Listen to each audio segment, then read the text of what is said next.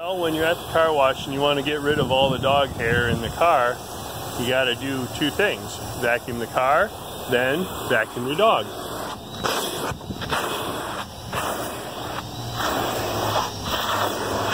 Here you boy blue.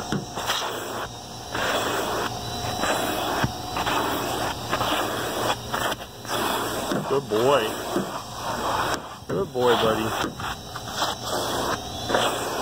Good boy.